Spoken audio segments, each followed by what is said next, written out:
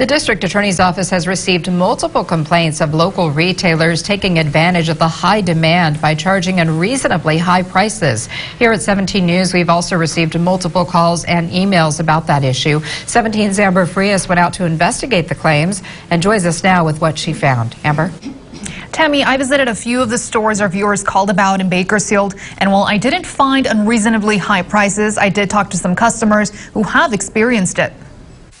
With the current situation of stores running out of essential products, one major concern is price gouging. I paid $8 for a case of water. People across the county have reported online vendors and brick and mortar stores are trying to cash out on the virus by raising prices and trying to resell everyday essentials. Not me personally.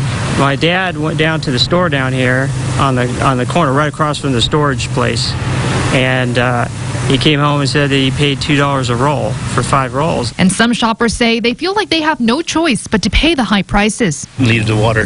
Just thankful to find it. I guess they can do what they want to do. So it's not right, but it is what it is. And if you want it, you'll pay for it. But it's not only not right, it's illegal. Stop right now and act within the meaning of the law. Any business or individual charging a price that is 10% more than what it was on the day before March 4th, the day the U.S. declared a state of emergency, is committing a crime. I mean, it is a misdemeanor, and they face uh, fines and penalties, including time in jail. There are also civil penalties, which are about $4,000 each for violation.